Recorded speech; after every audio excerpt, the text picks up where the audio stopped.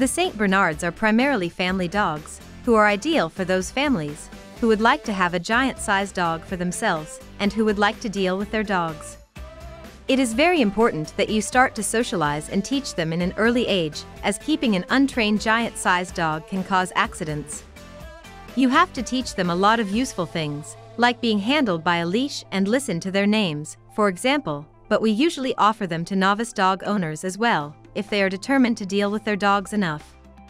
We usually do not recommend them to those people who have a very busy life. For these people dogs are not ideal, and St. Bernards are not ideal as well.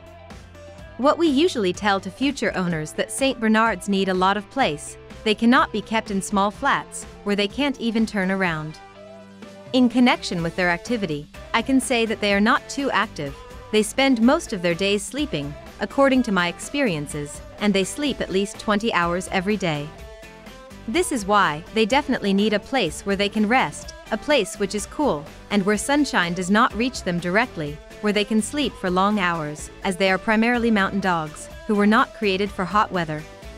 In general, they live 7 to 10 years, giant-sized dogs usually have a shorter lifespan than smaller dogs. From health point of view, there are some hereditary illnesses that breeder try to eliminate, but of course it is biology, and not everything can be avoided. We always try to avoid dysplasia, ectropion and entropion.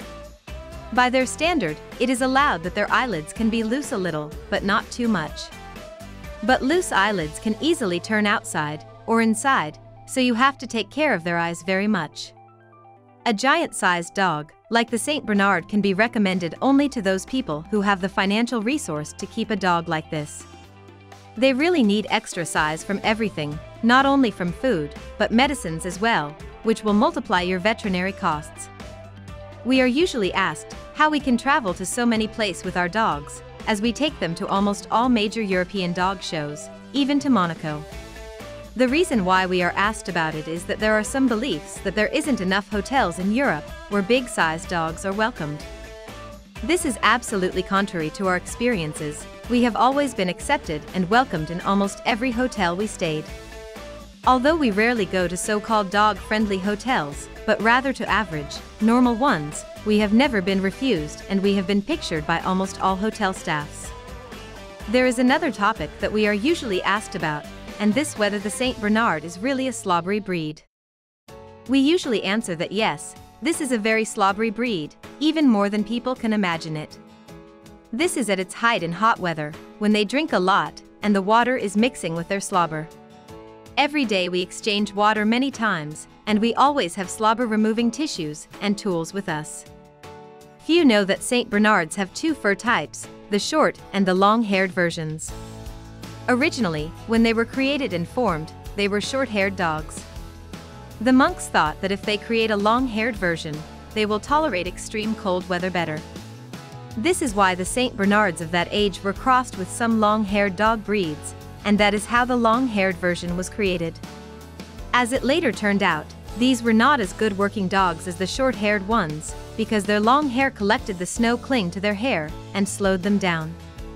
Although the short-haired versions were used primarily for work, everybody agree that the long-haired ones are really spectacular.